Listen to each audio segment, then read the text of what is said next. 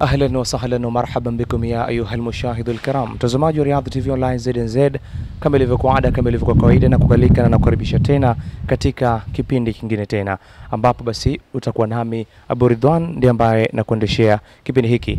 Bila shaka ni kwamba katika maisha siku zote huwa kuna watu huacha athari, ima zaweza kuwa nzuri au la zaweza kuwa mbaya, lakini athari hizo huendelea kubaki na bila shaka kwa mujibu wa mafundisho ya Mtume Muhammad sallam, athari ile atakayoiacha mtu basi huwa inamsaidia yeye akiwa duniani na kesho akhera kwa mambo mawili, ima ataendelea kupata ujira katika ujira wa wema, au la ataendelea kupata, ataendelea kupata ujira au la anaweza kuendelea kupata hasara akiwa duniani na kesho akhera.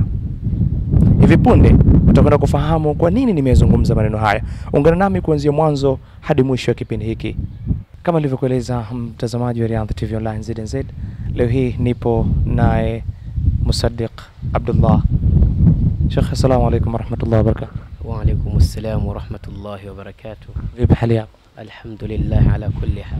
Tupe historia yako kwanza, au la eh, tu, tu, tufahamishe Musaddiq ni nani hasa? Historia ya Musaddiq mpaka nikalipata jina hili, hili ilikuwa ni kama hidayan alayya, yani kama ni zawadi kwangu, kwa sababu kipindi ambacho mzee wangu anafanya kazi sehemu fulani, alifanya kazi na mtu mmoja maarufu, sitaki kumtaja, bali akamwambia kwamba lau kama utakuja kupata mtoto wako wa mwanzo kabisa, alaihi biismi Musaddiq, mpe jina la Musaddiq, hasanun wa jamilun ismu.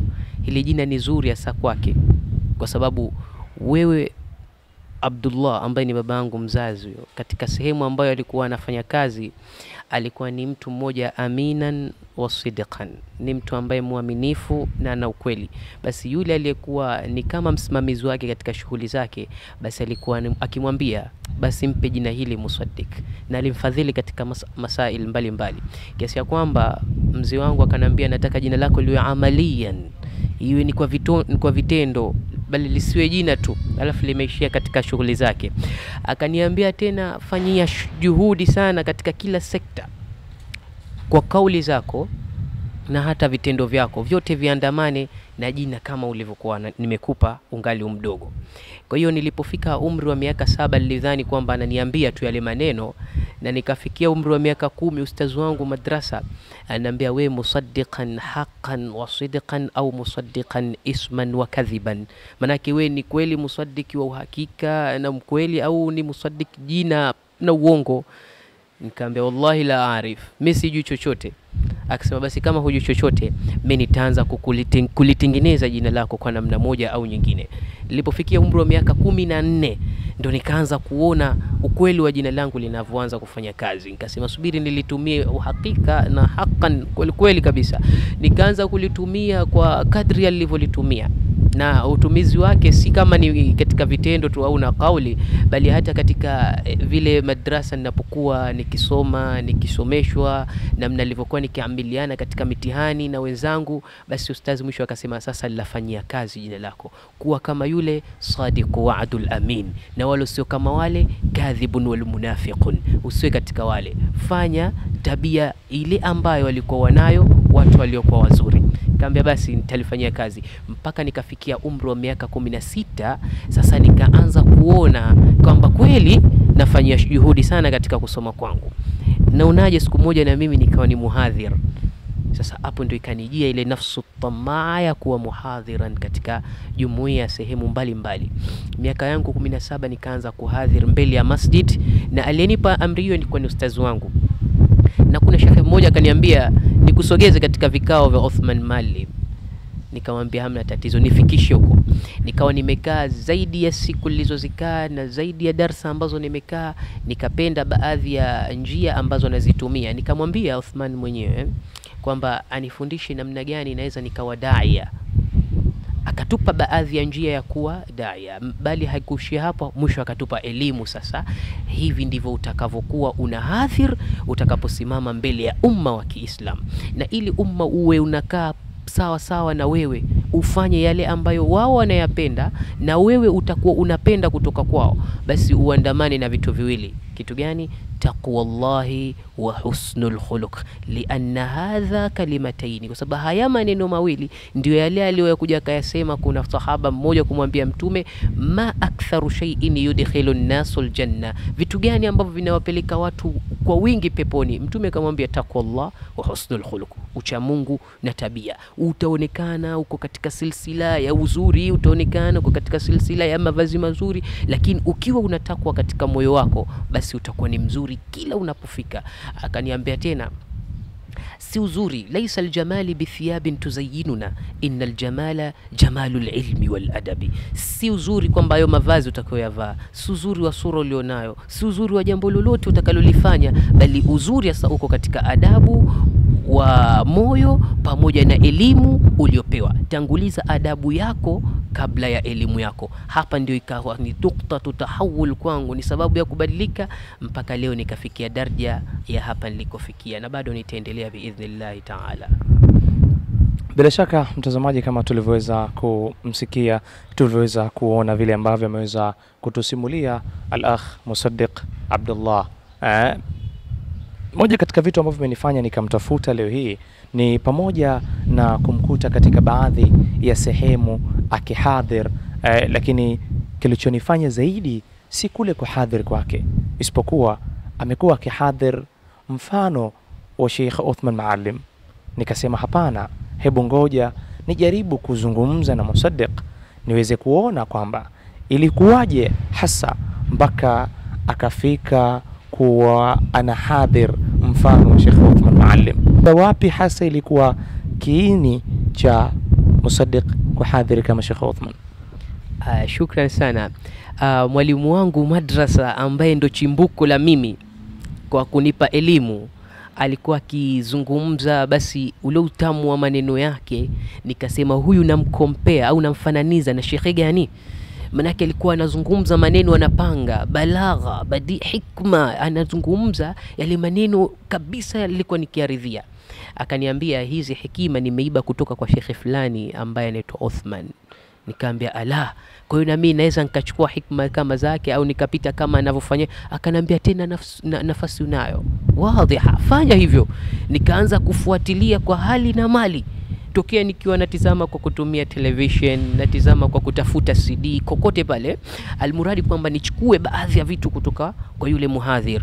Mwisho wa siku sasa nikaona kwamba hivi havitoshi, bora nikasogee katika darasa zake mimi mwenyewe, nikaanza kuwa nakaa na hawil kusikia baadhi ya yale anayozungumza, na wallahi hakuna darasa ambayo nimekaa kwake nikawa sikumbuki siku lilokaa nimeondoka mtupu. Vitu nusu ya alivyozungumza nimejaribu kuviweka katika kile yangu, sababu kile kitu kipo katika nafsi yangu na ninakitaka, na jinsi ilivyokuwa na, an, alivyokuwa anazungumza na hadhira mpaka wanafahamu wale hadhira, basi yeye binafsi anafahamu kwamba watu wananifahamu na anajua. Sasa nikasema kwamba na mimi itafikia wakati watu wafahamu wajue na mwisho watafahamu lengo la mazungumzo yangu yako wapi na nini tunachokusudiana sisi Waislamu wa umma huu. Kwa mara ya kwanza e, unaweza kukumbuka ilikuwa lini hasa ambapo ulihadhir ukajiona kwamba leo nimehadhiri kama Sheikh Othman? Naam, kwa vile ni mara yangu ya kwanza, ilikuwa ilikuwa ni katika shule tunazozisoma hizi katika shule ambayo ninasoma mimi kuna jumuiya inaitwa jumuiya ya kamati ya dawa, jumuiyat ad-da'wat alislam katika hizi madrasatu thanawi. Basi nilivyokuwa nikikaa na wale watu, siku moja wakanishawishi, shekhe, wewe ukikaa hapa una hawil kumwiga shekhe fulani hebu siku moja tutakupa nafasi ya kuzungumza pale, ingawa kwamba hatukufikia umri, maana niko form 2. Form 2 tulikuwa tunaambiwa nyinyi ni wanakamati tu, lakini si katika watoko hadhira. Kwa hiyo utakapoendelea form 3 utakuwa ni mhadhira. Basi nilitamani ile nafasi ifike mara moja. Basi siku hiyo ndio akanipa fursa pita pale mbele ya umma leo Ijumaa uanze kuhadhir. Basi nikapita kwa namna nilivyopita, na ilikuwa kuna darsa maarufu ambayo alikuwa akipenda sana kuizungumza Sheikh Othman kuhusiana na umuhimu wa elimu, na kama alivyoizungumza yeye mwenyewe, na akili yangu wakati ule ilikuwa nishaikubalisha kwa hayo, nikaichukua kwa staili ile ile nikaizungumza mbele za watu. Kutoka pale kila mmoja anasema wallahi, nimekifahamu ulichokizungumza. Nikajua naam, sasa yale niliyokuwa nayatamani yafike, yafahamike, yanaenda kusikika. na nitajulikana kwamba naam, kumbe anasisitiza umuhimu wa elimu, sio kama wale wengine walipokuwa wanakuja wanaradi baadhi ya masala kukhtilafishiana, lakini kaona mimi masala ya ikhtilafu sio ya kwangu, nizungumze yale ambayo jamii inawahusu wao, na nikajua kwamba umuhimu wa elimu kwao utakapowafika, basi itakuwa ni sababu na mimi Mwenyezi Mungu kunijaza nuru na hekima na adabu huko tunapokwenda, ikawa ni sababu ya kuzungumza vile. Mwisho akajua kuna shekhe fulani anaitwa Uthman Maalim, inaonyesha unamwiga sana huyu. Nikasema kutokamana na nidham na si nidhamu tu, bali ile hekima ya uzungumzaji wa kuyapanga maneno ndio ninoitaka mimi. Sijasoma tu kwake peke yake, bali nimesoma na hata kutoka kwa mashekhe wengine wote wenye mpangilio mzuri wa maneno mbele ya hadhira. Ukizungumza unaondoka umepata, sio unaondoka ulikuwa unasinzia. Kwa hiyo na mimi huwa nataka watu waondoke, sio wanasinzia, bali wameondoka wamefahamu ni kitu gani watakisikia. Kwa mara ya kwanza unakumbuka kadhalika mtu wa kwanza ambaye aliwahi kukwambia una una hadhiri kama Sheikh Uthman Maalim? Naam, yupo. Ilikuwa ni mwalimu wangu madrasa. Mwalimu wangu wa madrasa ndiye aliyeniambia hivyo. Siku gani? Ni siku ambayo tumesimama mbele ya, ilikuwa ni kama ni mahfal katika madrasa yetu, akaniambia wewe utakuwa ni muhadhir pale mbele, lakini hakujua kwamba nitaenda kuhadhiri kitu gani. Alinipangia tu kitu fulani au nitafuata nitafuata nyayo za shekhe fulani. Kwa hiyo kaenda pale nikahadhiri vizuri tu, alhamdulillah. Basi kuondoka, kasema masha Allah, ka Uthman Maalim, kama mfano wa shekhe mmoja anaitwa Uthman Maalim. Kasema naam, ita Wewe una unajisikia faraja wakati ambapo una hadhir ama unakutana na mtu akakwambia ya Musaddiq, umefanya kama Sheikh Uthman maali lazima inifike faraja, kwa sababu nazungumza haya. Sahaba kasifiwa, wewe tabia zako, mfumo wako ni kama wa Mtume Muhammad sallallahu alaihi wasallam. Yule sahaba kafurahi kwelikweli, kweli, kwa sababu kafan- kafananizwa na nani? Na Rasulul Amin. Sasa mimi nitafurahi nikiambua umefananizwa na shekhe, sijafananizwa na msanii yeyote. Nafurahi sana katika moyo wangu nikiambua umefananishwa na shekhe fulani. Najua Uli, uliwahi kupita ukiachilia mbali uh, darsa hizi za, za jumla jamala, shekhe naamini atakuwa ana wanafunzi ambao wanasomesha. Musaddiq ni miongoni mwao. mimi ni mwanafunzi wa darsa anazozisomesha, la sio wale wanafunzi wa ndani kabisa anaowasomesha. Kwa sababu nazungumza hivi, yuko mmoja katika wanafunzi wa ndani kabisa niwasomesha, ni sahibi yangu sana. Akiniambia twende, mimi namsitisha, ambia hapana, sendi kwa Uthman Malim kusoma nitasoma pale pale katika darasa zake, nafahamu zaidi pengine kuliko ni hata kuja kusoma huko nkafahamu vingine. Kwa pale huenda nkaa najua na nasikia na ninaelewa vizuri zaidi hata kufika huko. Ili uongee kama Sheikh Uthman, unafanya nini hasa, au la nini ambacho huwa kina kina kina kinajitokeza katika lahaja zako, lafdhi zako, ili hata ifike wakati kwamba uzungumze kama Sheikh Uthman? Wallahi ladhimu, nikwambia kitu kimoja. Kuna watu vijana ambao nipo nao, mtu anatafuta namna ya kufanya afanane na msanii fulani, anatumia njia nyingi sana toka anatoka huko, utamuona mara kesho, utamuona anacheza, anavodemkwa, anavopita, ni mfano wa mtu fulani. Ukimuona tu ah, huyu shakili yake anaipeleka kwa mtu fulani. Kwa hiyo na mimi nikasema basi nifanye juhudi katika kusoma kwangu. Kitu gani nisome? Fani gani naipenda zaidi? Baada ya kusikia na, na ustazi wangu hasa chuoni kwetu hasa alituchimbukia katika ilmu ya sira, basi nami nikapendezwa sana na ile sira iliyokuwa anatusomesha kabla ya kufahamu nani Uthman. Kwa hiyo baada muda mchache kufahamu sasa yeye Sheikh Uthmani, nikajua napita njia zile zile, nikasema kwa uweledi huu wake anaoutumia, basi na mimi nitauchukua huu huu, huenda na watu wakafahamu. Si lazima mimi kupita njia zote alizozipita Othman Maalim, na kuna siku nita, nitaacha hivyo, nitatafuta na mimi njia za kwangu binafsi, watakaokuja huenda wakafuata kama nilivyofuata mimi. Hivi ndivyo inavyokuwa. Unaweza kuzungumza japo kalima mbili tatu ambazo uh, angalau naye mtazamaji akaweza kuona akaweza kusikia ile ladha ya Sheikh Othman? Tunaweza tukafanya hilo tukizungumzia masail mbalimbali mbali, mimi naona jambo moja ndio muhimu zaidi kulizungumza, na jambo hili ni, ni jamhuri ya Waislamu wanatakiwa kuwa nalo, kwa sababu tutakapokuwa tunalikosa sisi Waislamu, mara nyingi tutakuwa tunadhofishwa. Vijana wengi sasa hivi wanaoibukia wanaibukia katika masuala eh, ya tofauti tofauti ambayo hayamo ndani ya Uislamu. Kwa sisi tumeachana nayo. Namkumbuka alituambia Imam Shafi alikuwa ana kaida anaishi nayo, na hii ndio mfumo wake mzima wa maisha. Na ni kaida gani hiyo? Mwenyewe anasema raaitu lilmu sahibuhu karimu walau waladathu abau liamu walaysa yazalu yarfauhu ila an yuarifa wa yuadhima qaumun karimu wakunu waraahum fi kulli waktin karai dhani litatbaahu sawamu falaula lilmu ma saidat rijalu wala urifat lhalalu wala lharamu. Haya ni maneno matamu kwelikweli, nimeyahifadhi katika moyo wangu. Anasema nimeiona elimu, raaitu lilmu sahibuhu karimu, watu wake ni wazuri mno, wanapendeza mbele ya society. Walau kanat abaahu liamu, hata kama wazazi wao nyumbani watakuwa hawajui kuandika hata ile sifuri, lakini maadamu mtoto aliyekuwa amekuwa katika misingi mizuri ya dini ya Islam, basi ataenda vizuri.